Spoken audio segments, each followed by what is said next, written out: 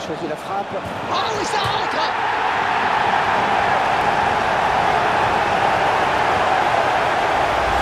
On voit toute la joie du défenseur après ce but. C'est vrai que dans le football moderne, Hervé, il y a de plus en plus de défenseurs qui n'hésitent pas à monter aux avant-postes euh, pour faire la différence. Oui, la trajectoire était très indécise, euh, c'est vrai. hein. Et finalement, le ballon est passé sous la transversale